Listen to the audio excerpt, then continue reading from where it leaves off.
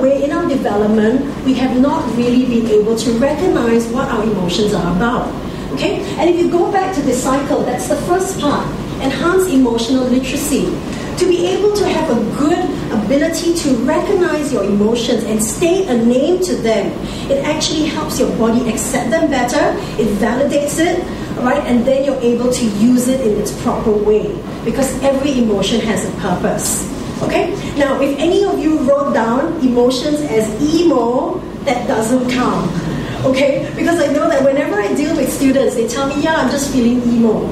Okay? Now, generally, in all these years of training, we ask our, our audience, how do you feel? What do you think are the usual responses I get? Fine, yes. And fine is so broad. What does fine mean? I'm fine. Is that good? Is that bad? I'm fine. Okay, so I have to listen to that tone of voice. Am I fine or am I fine? Alright, so it's just one word, but it doesn't really help describe it. Okay, so we need to think about our emotional literacy and how we can be better at it. Okay, so this is where many times to just tell yourself how you're feeling at that point is really very important because once there's acceptance, we are able to do something about it. All right, so we've heard maybe about 15 of them. Now, when you listen to all the different types of emotions, if you had to categorize them, or would there be any way of categorizing them?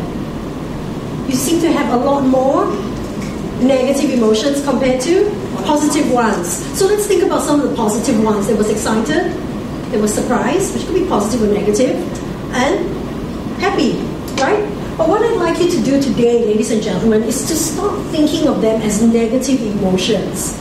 The moment we tell ourselves it's negative, we think it's bad. And when we think it's bad, what do we try to do? We suppress it.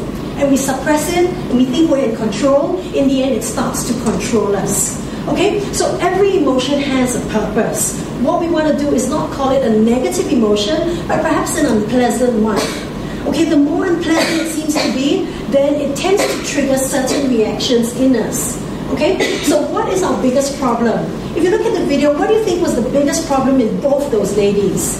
They had high, unpleasant emotions, and what were they not able to do?